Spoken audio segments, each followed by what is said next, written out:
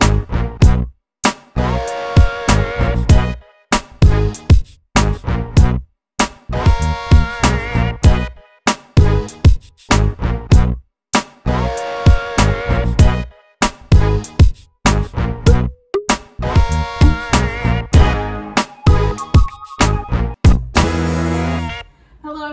Welcome to RTA. This week we are going to be discussing narcissists, so stay tuned for that. Now let's get into the juicy news.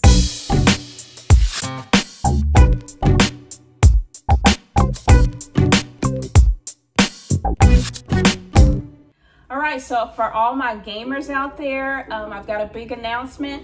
WNBA champion and all-star Candace Parker is to be the first woman on the cover of the 2K22 game. So congratulations to Candace. All right, so we have Atlanta teens, 16-year-old Jayla Jackson and 17-year-old Imani Stanton, who won the international debate competition at Harvard. Good job, ladies. We're so very proud of you. And now let's get into those lifestyle and beauty highlights.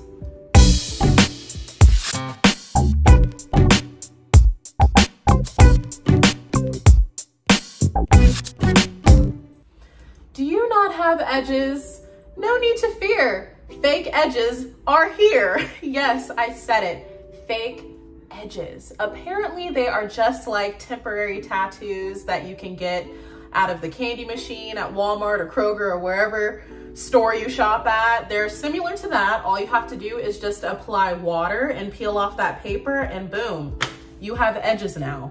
I mean, when I see this on TikTok, I was like, what is going on? It looks legit. I personally haven't tried it yet, but I kind of want to because it looks, it looks pretty interesting. You know, I want to see if it looks real in person, you know? So I will try it out. Let me know down in the comments below if any of you have tried it or if you plan on trying it. Um, also, let me know if you like it or if you hate it. I mean, I personally haven't tested it out. So I don't know if I like it or hate it, but I will let you know. So follow RTA Cheers on Instagram for an update on this. and we'll see if it works. Um, let's get into the aspect of the lifestyle section of this segment. I know a lot of you guys are health and fitness who subscribe to this channel and I do wanna touch base on health and fitness and taking care of your body and everything that comes with it. So if you do not know about the Reach and Teach Association website, definitely click on that. We have um, at-home workout plans, we have recipes and food, um, healthy food diets and how to stay healthy. So definitely click on that and let us know if you tried any recipes or if you've tried the at-home workout plan. And if it's helped you, let us know in the comments down below. But we definitely wanna make sure that we all are staying safe and healthy, especially during this time. So let us know what your, your thoughts are on the health and fitness of RTA. And without further ado, let's get into the segment for today, which is narcissists.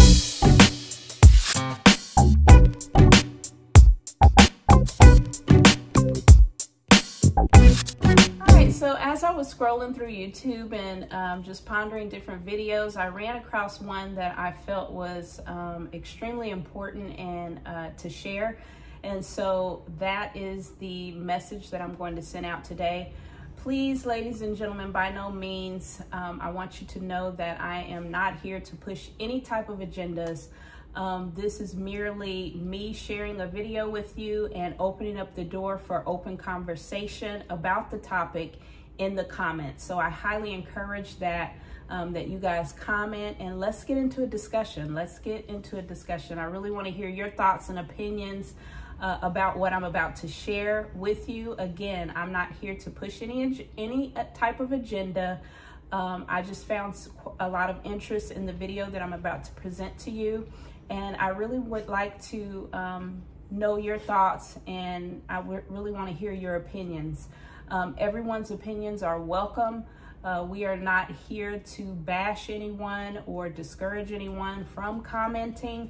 Um, your thoughts are your thoughts, and there's no right or wrong way to have an opinion about a given topic. So um, I'm just putting the topic out there, um, putting the content out there, and I just really would like to um, have an open discussion about the topic. So uh, most importantly, I want you to keep an open mind um, as you view it. And again, please leave a comment below. A message with you about narcissism, and I want to expose the spirit of narcissism. Now, a lot of you have seen this, you've dealt with this, but you may not exactly know what it is. And so I'm going to kind of identify it for you and share it with you so that you'll understand.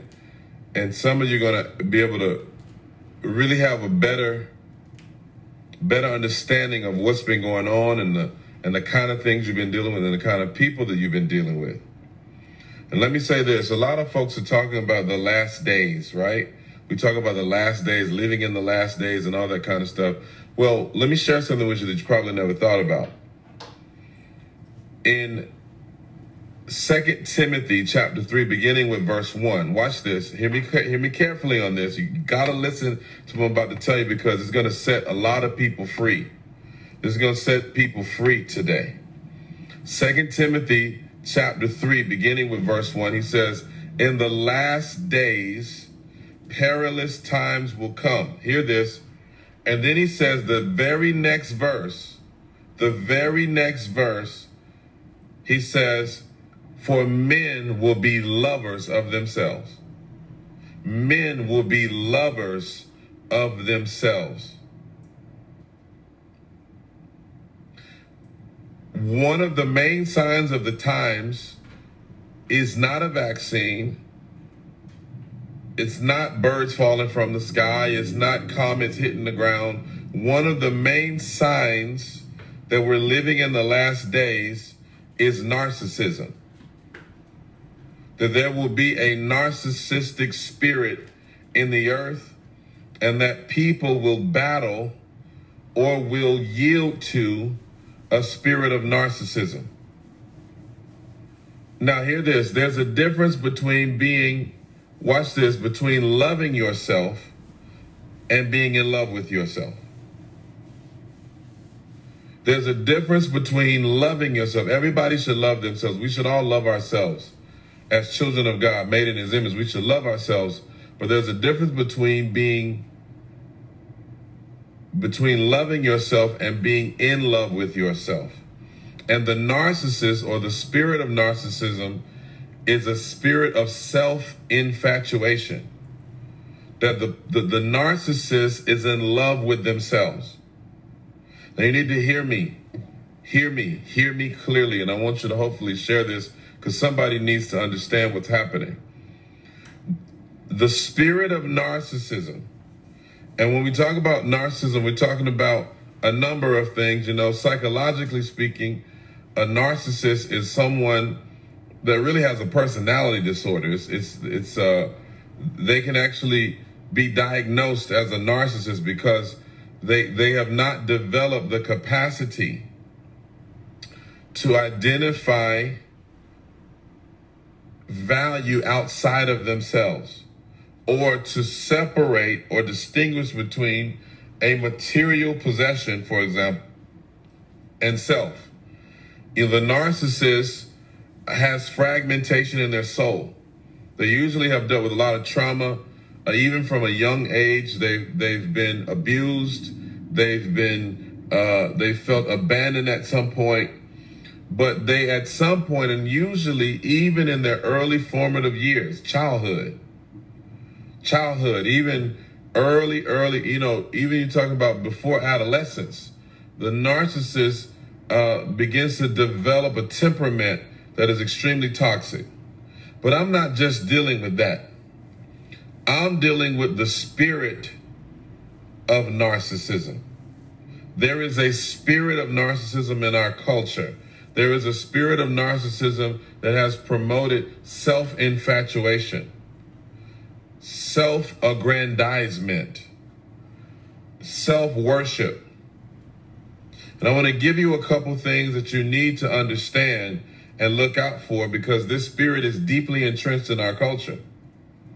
It's deeply entrenched in, in social media. It's deeply entrenched in the way we see things. Let me give you an example of what I'm talking about. Recently, there was a guy, a, a, a popular social media guy, who talked about relationships and stuff like that. And this guy had a video with his spouse, you know, coming out and confessing a lot of the stuff that had been going on with them and and a lot of accusations against them and, and the truth of those accusations, et cetera, et cetera, et cetera. And it's like a, you know, a confession video. Then he makes another video commenting about himself in third person as a, as a, as a bystander looking at himself. Now, now whether this is a, is like a, a, a gimmick, you know, or some sort of ploy to sell books or publicity stunt is irrelevant. What is more relevant is the fact that this is an example of the narcissistic spirit that has entered into our society and even into the church.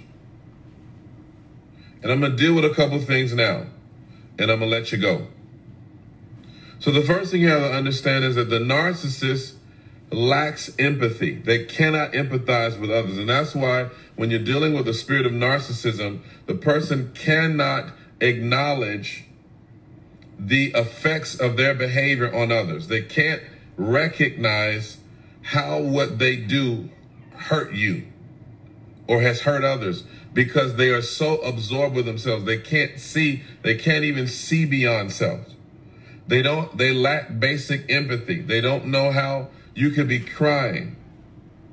You could be crying. You could be, you could be sitting there agonizing, bleeding on the ground, and the narcissist cannot identify with your pain. They can't identify, they can't identify with your suffering because the only thing they're concerned about is themselves.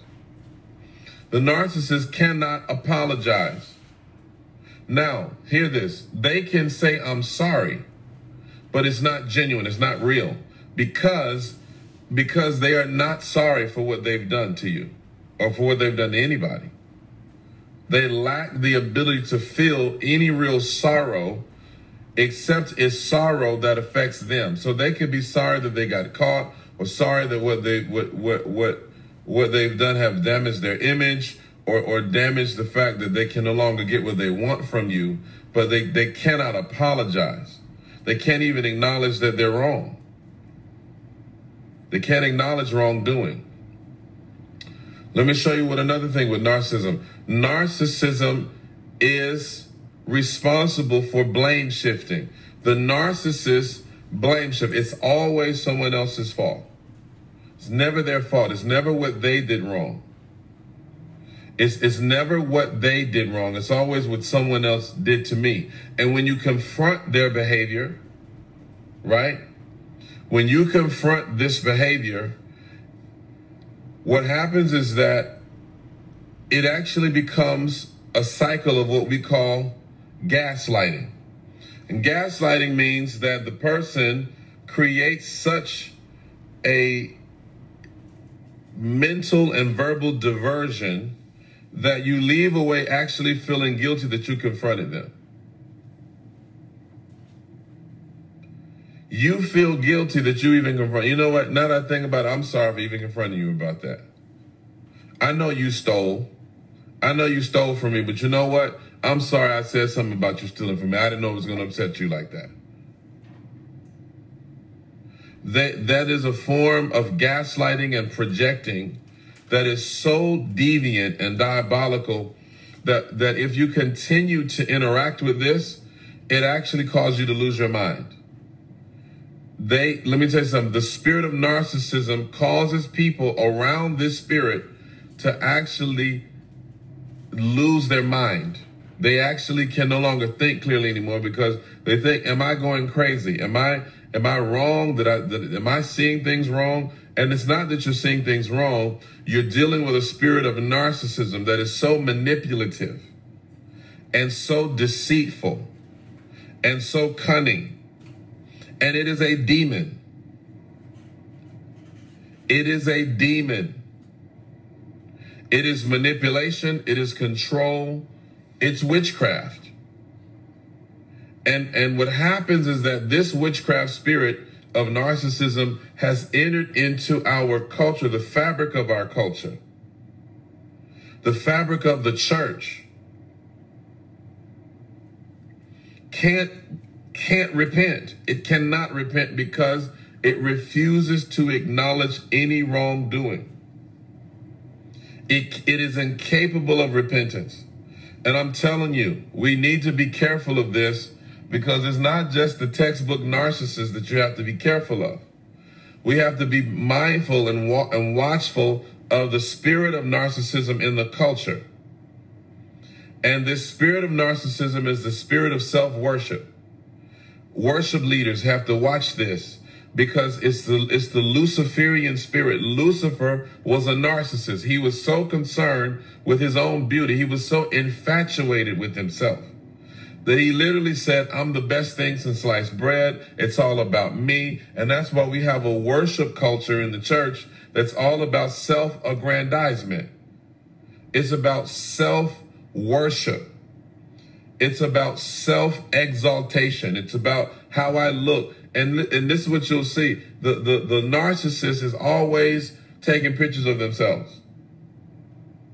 Like narcissistic worship leaders, you'll never see anybody in worship. It's always them taking pictures of, of them lifting their hands and them and them singing. And hey, catch this picture of me while I really worship the Lord. And it's always conjured and concocted.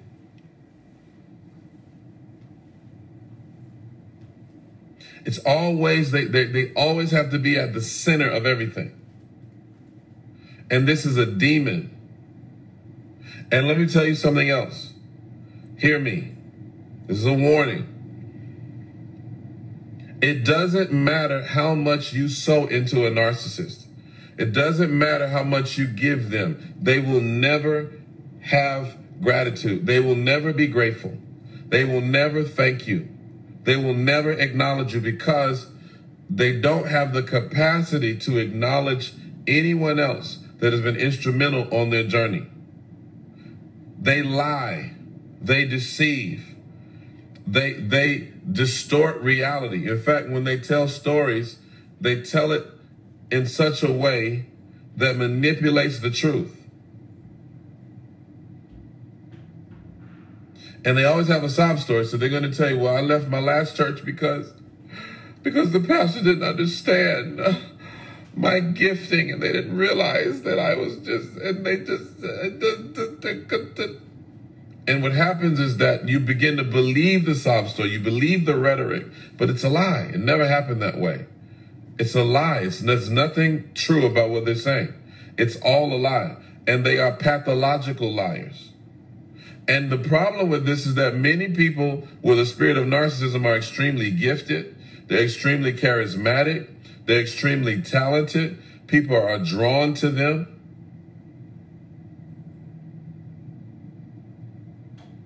But you are just a stepping stone to get to where they're trying to go. They will step on you. They will, they will use you. They will use you. And, and here you are, you're crying, you're upset. Stop being upset. You're dealing with a demon. You're not dealing with a person, you're dealing with a demon spirit. And I'm telling you, this thing has demonized so many people, and it's after our culture, it's after the church. We have we have narcissists in leadership. We, not only in governmental leadership, we have narcissists in church leadership.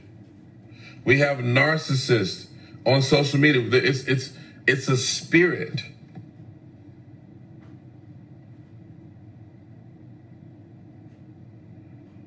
And the only way to address this spirit is to confront it, to confront it in us and to confront it in others.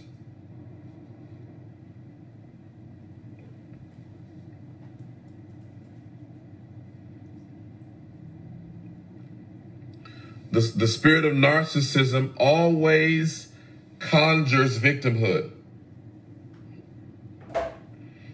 There was a victim. It's my mama's fault. It's my dad's fault. It's it's my aunt's fault. It's how I was raised. It's because I was molested. It's because of this. It's because of that. There's always a justification because they are eternal victims, perpetual victims. You did this to me. That's why I did this.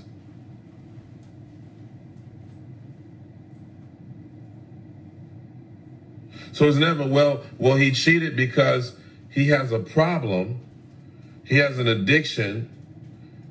He, he deals with insecurity. He's broken, etc. Or he has a demon of lust. It's always, well, my wife wasn't giving what I needed. If you were there for me, I wouldn't have needed to step out. That's a narcissist.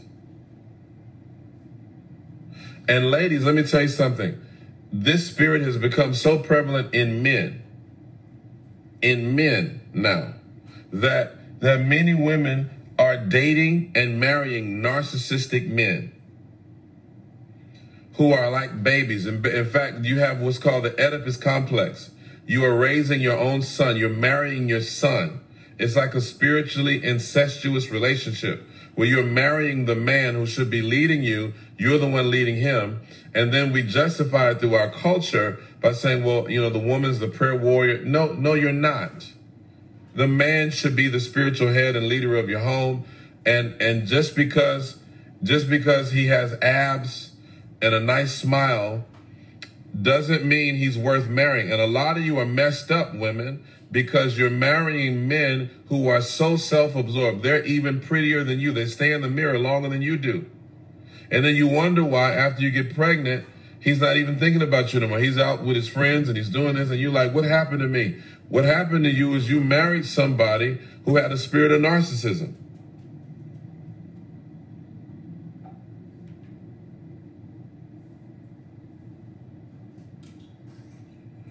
Many men marry narcissistic women who are so Jezebelic in nature that they're so manipulative. And what they do, everybody's the enemy.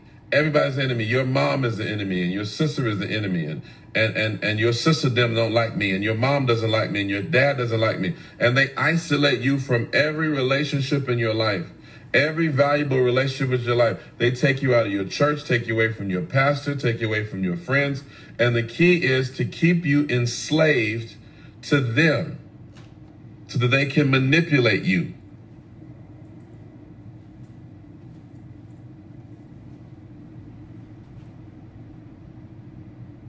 So, so, so what happens is that many men marry this. I've seen pastors with a narcissistic wife uh, uh, with, with a Jezebel spirit, and basically she's destroying the ministry because it's all about her. She has to be seen. She's competing with her husband for power, for attention, for affection, for fame. And anyone who gets near her husband is a threat to her because she has to have his full attention and energy at all times.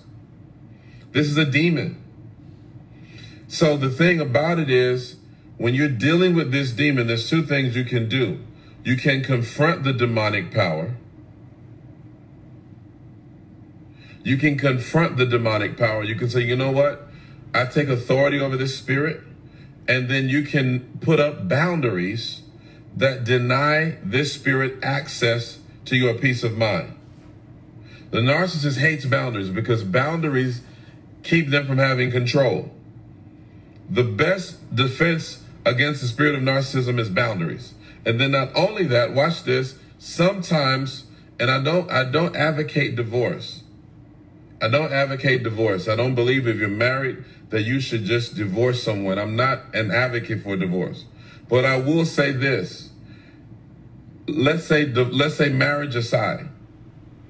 The best thing you can give a narcissist is the gift of goodbye. Sometimes the best thing you can give a narcissist is the gift of goodbye. The gift of goodbye. So you know what? I can't communicate with you anymore. I can't speak with you anymore. I can't talk to you anymore.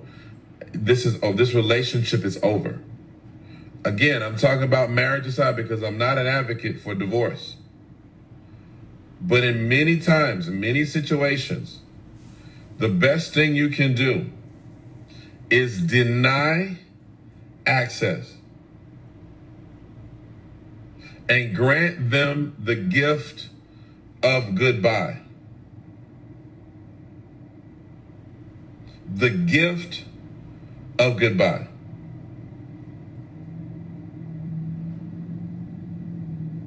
And recognize that you're dealing with a demon. This is one of the signs of the last days. The Bible says that in the last days, people will be in love with themselves. They'll be heady. They'll be high minded, boastful. They'll be traitors. They'll be disloyal. And it is born out of this self conceit, this narcissistic spirit of pride.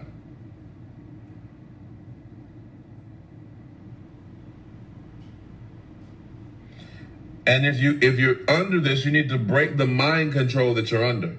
You're under spirit of mind control and, and, and manipulation. And, and my God, I see this. I've seen it in ministry. I've, I've seen it recently. I've seen it so many times. Women following after narcissistic men. And he can't lead you anywhere. He can't lead you anywhere. He won't serve you. He won't, he won't lead you. He won't speak into your life. It's all about him. And if you follow him, you're following him into destruction.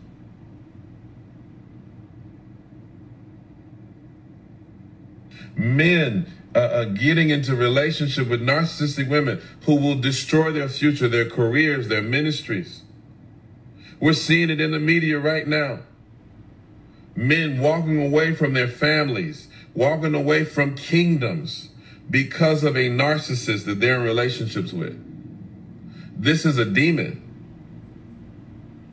This is the thing behind cancel culture. Listen, it's just like the woman that went to McDonald's and said, you know what? I'm suing McDonald's because I'm fat.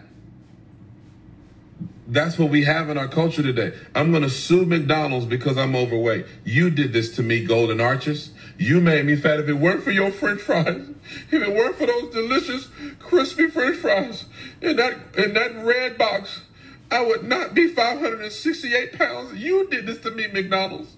McDonald's, this is you. Therefore, we need to cancel you. Close every McDonald's in the United States. Close every McDonald's. And don't you see that this is the spirit behind cancel culture?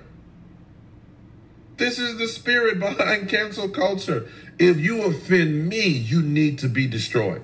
I'm going to destroy you because you offended me. I don't care what you did in the, in the, the third, last 30 years of your career. If you make me mad, I'm going to make you pay hell. And they will lie. They will deceive. They will manipulate. They will gossip. They will slander. They will do whatever it takes to get what they want.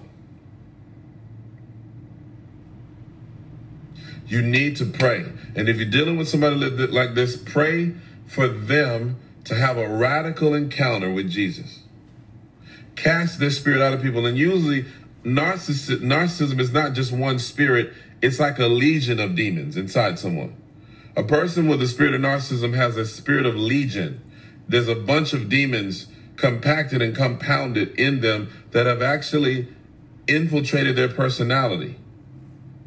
And so what you have to pray for is for the, the breaking of the demonic soul ties, the demonic legion, that the Lord would break up that legion in them and that they would literally have a radical encounter that would restore their soul. Because it's wounded. The soul is wounded and the soul needs to be healed. The narcissist can't hear from God because anytime the voice of God disagrees with the voice of self, they will default to the voice of self. I'm helping you tonight.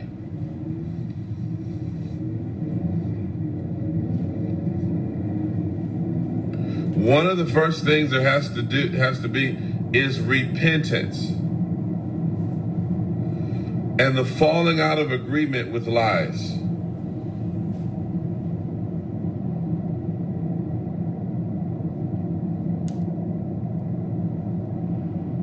I want you to really tell me what you think about this. I want you to comment in the comment section. Tell me your thoughts about this. And let's have a discussion. Let's talk about it. God bless.